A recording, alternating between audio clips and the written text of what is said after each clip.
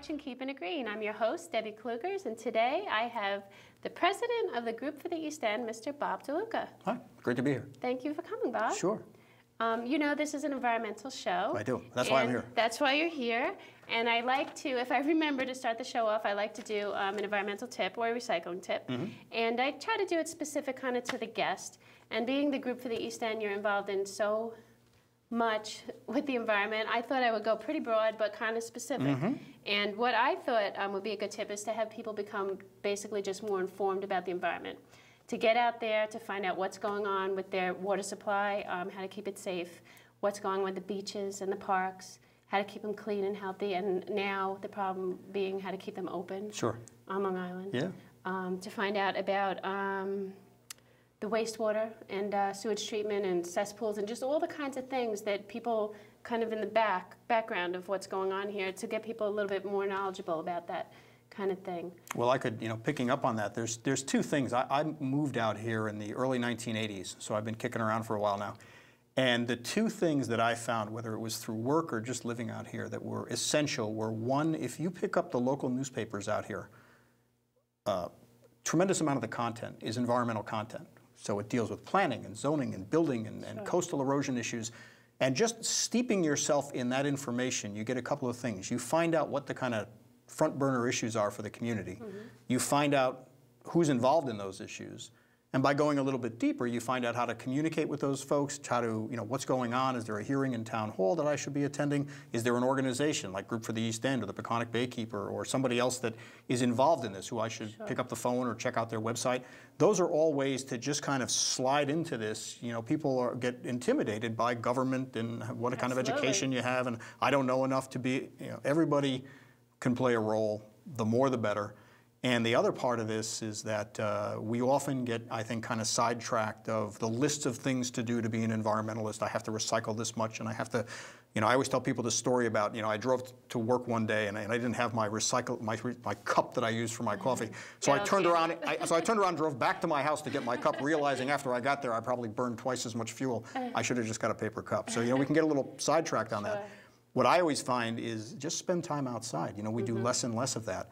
And the ability to just go out and whether it's looking up at the stars at night, which, you know, here on the East End we're still fortunate enough to be able to do, uh, walking with your family or your kids or by yourself, anywhere, just spending time outside and paying attention, it's like going to Jupiter. It's like a different world. And once you get there, you can, you can write and you can dream and you can think and you can identify things. That's where the core of an environmental ethic really comes from. And it's very easy to live your entire life, even on the east end of Long Island, and not go down to the water and not go into the woods. Everyone's busy. You know, I work in this field, and I, once a week I'm like, you know, have I seen the water this week? Wow. I better really make sure. You know, fortunately, I have kids that remind me of this and drag me down there. But it's very easy, and I think you know the tip that I always give people is you know love it first. Get get just a feel for it. You don't have to know what everything is. You don't have to identify everything. This way you want to protect it if you have a Yeah, connection you know, to it. take that feeling and that experience, and then start to pick up the paper and go, wait a minute, that's that's the woods I was just walking in, or.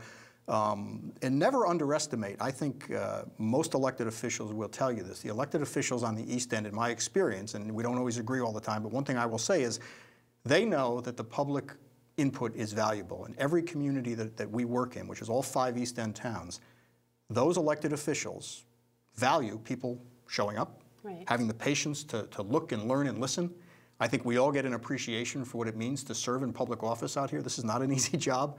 Um, and as much as you know, people consider advocates always, you know, arguing with elected officials. I mean, I have tremendous respect for anybody who stands for office, gets elected to office, and has to deal with the mountain of issues that we now have on the East End. So collectively, those are the things from our standpoint that you know move you toward a more environmental, uh, a more environmentally conscious way of thinking.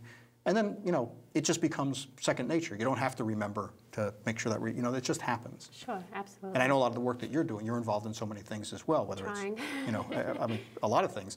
And then it just becomes second nature. So you're doing it. You don't have to think about it so much. Right. And, you know, um, like you said, uh, the local newspapers, also radio. You've got a nice radio program. Yeah, uh, we're on, uh, on Peconic Public Broadcasting. I was very fortunate last year uh, with um, 88.3, which is the FM Peconic Public Broadcasting. Bonnie Grice, who's outstanding. I mean, as I said to you before, you know, carried me through the first year of that program.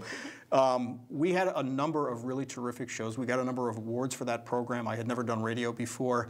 It was great to have people in the community coming in as panelists, and we talked to a lot of different people from government, from outside government, people working on conservation issues. and you had people calling We had call-ins, you know, great. people with all kinds of issues, and it gets you thinking. You know, I left there every morning wondering uh, about more things than I had when I came in because people raised really good questions, and I think the the confluence of, you know, uh, public access television, public radio, these things are part of the East End uh, dialogue, part of our narrative, and it's very important, whether it's you know a program like this or whether it's a public program on on radio, that we keep that dialogue going. It's a complicated place, you And know. there's a lot of people that do care, and uh, this kind of format and this forum can. Uh, Yeah, and the region is changing, and we've we've had a lot of amazing things happen in conservation. You know, for the last decade or so, we we've saved almost 10,000 acres of land through the Community Preservation Fund. Five East End towns making a commitment to buy open space and the protect most it in for New the York future. State. It's, it's an exceptional program, and even last year, um, even the town of East Hampton uh, raised $10 million last year in the off economy. The town of Southampton raised almost $20 million out of that fund. That's great. So that's money for the future, but at the same time, you know, there's 15,000 new units of, of development here now that weren't here 10, 10 years ago. We've got uh, 40 or 50 million more vehicle trips a year than we had 10 years ago. We're using about one and a half billion gallons of water that we didn't use 10 years ago. So as an organization, we're starting to look at, okay, now that we're all here, There's a carrying capacity, and we have to make sure we don't. and yeah, and, and we used to, you know, when I first started, I've been with the group now uh, 17 going on 18 years. And before that, I was working in conservation for Suffolk County with the Office of Ecology there on the Peconic Estuary Program and other things. And, you know, what we've seen is back when I started, we were looking at large tracts of land and how do we do our best to protect those tracts of land for the future and how do we manage the development that we had at that time. And now what we're looking at is an increasingly shrinking pie of undeveloped or available land, and the land around us is largely filled with us. So, what's happening to the runoff? What's happening to the sewage? What's going down the drain? How are we managing our, the four corners of our own property? so this is what uh, the group for the East End is, is involved in, and all these type of issues. one of the things that we're focusing on now, we also, you know, we kind of operate, I guess, at, at, at two different levels. And one you might say is, you know, at 20,000 feet, and the other one is right down on the ground. The 20,000 foot level is the issue of what's the best plan that we can put in place for the communities that we're working in. Right now in the town of Southold, they're about to undertake a major comprehensive planning effort, not unlike that was done in East Hampton several years back. We're trying to become involved there, educate people about what that means, how that shapes the future of the community. We're also looking at programs like the Peconic Estuary, which are regional conservation programs. Our office is involved The in Long Island Sound. Right, Long Island program. Sound Study. So we're involved in those larger regional programs that are setting conservation goals for the next five or 10 years. That's good. But we're also working right down at the ground level in terms of looking at the four corners of our property and saying, okay, um, what am I planting on my lawn? How much lawn do I need? You know, if you, uh, I saw this uh, analysis done, you can actually go online, I think the EPA has this, that there is enough managed turf on the United States to fill up the entire state of Pennsylvania. So that's how much, and, and you know, all those, all that mowing and all these different things that we just all kind of do. All those chemicals and fertilizers and pesticides, another good tip would be for people to cut down on those and, and take an alternative product if, Well, they, if they have to use One of the projects that we worked on, and I know that you had the Peconic Baykeeper on Mm-hmm. at one of your shows, and, and we worked closely with Kevin on, on a variety of things. This is a, a, a little brochure that we put out for people, and it, um, it, it's about, it's called bayscaping, and, and what we really hope to do is to give people some advice about the kinds of plants that you can use on your property that don't require a lot of fertilizer, that don't great. require a lot of water, native species. native species that, that blend in with the ha- natural habitat that you may have. And, and this is something which is pretty easy to do. And what I have found is, and believe me, I'm no great landscaper, is um, the native plants are often less expensive.